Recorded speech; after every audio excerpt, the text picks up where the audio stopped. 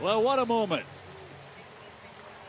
Joey Terdoslavich makes his major league debut pinch hitting in a tie game.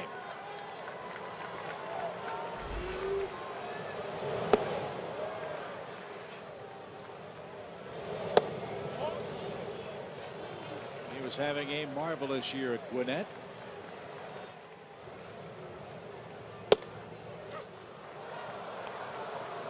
Now two and two. And a swing and a miss. Terdoslavich strikes out in his big league debut at the plate.